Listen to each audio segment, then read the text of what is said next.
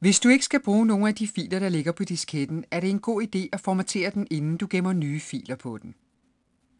Når du har sat disketten i diskettedrevet, skal du dobbeltklikke på denne computer.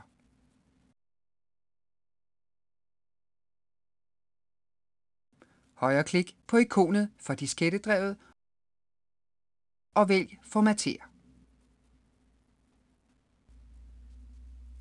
Hvis du har Windows 2000, ser dialogboksen sådan ud. Klik i feltet Enhedsnavn og skriv det navn, disketten skal have.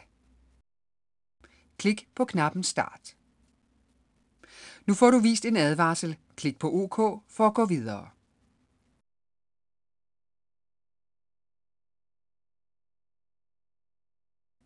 Når formateringen er færdig, får du en meddelelse. Klik på OK og derefter på Luk.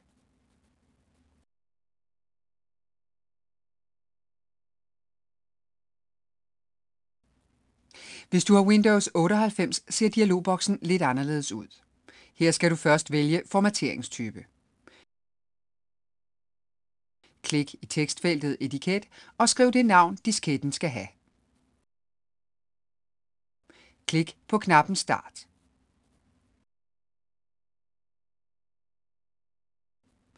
Når formateringen er færdig, får du en meddelelse.